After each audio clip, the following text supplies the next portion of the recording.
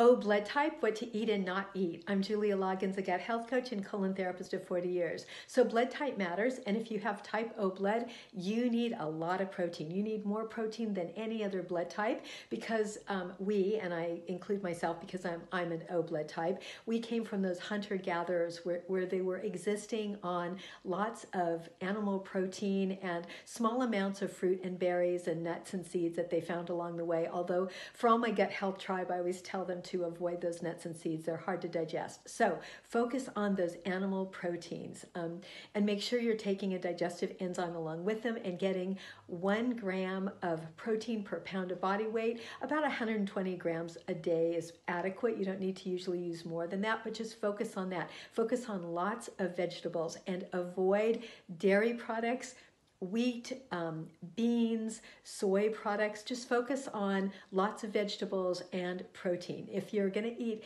any dairy products at all, make it a goat cheese or a goat dairy uh, goat product, and focus on olive oil.